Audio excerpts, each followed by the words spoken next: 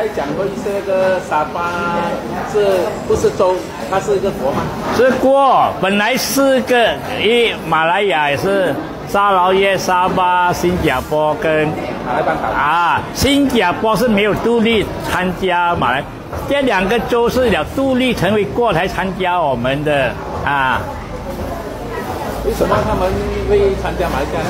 他们他们那是是英国安排的啊，啊石油啦。这个是最后的目的是要保护他们自由利益啦，啊，他美英美的势力在那边嘛。那么三劳越的人会不会说他们的意愿要脱离马来西亚？他们政治那时候政治啊。知识很落后了，那时候他们很落后，政治知识，他们教育也不高。现在呢？现在他们有。这边下一代比较比较知道他们的他们的权权益啊受损了，其实他们权益已经受损了。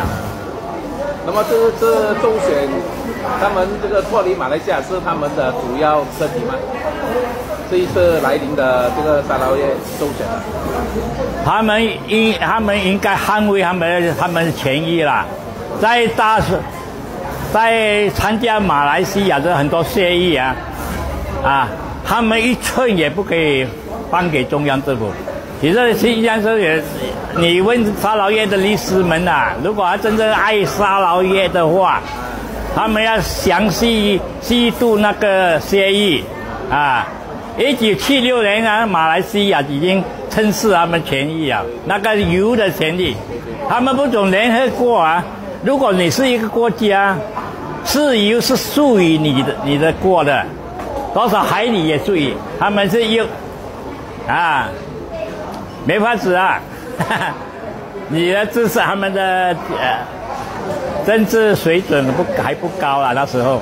那现在已经有 Facebook 啊，什么东西？现在已经应该会很多人去传这个东西了啊。啊。啊。现在知识应该提高吧？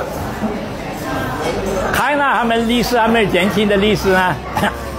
如果他们为了钱，就很难讲啦。如果还有正义感，就又不同了哈。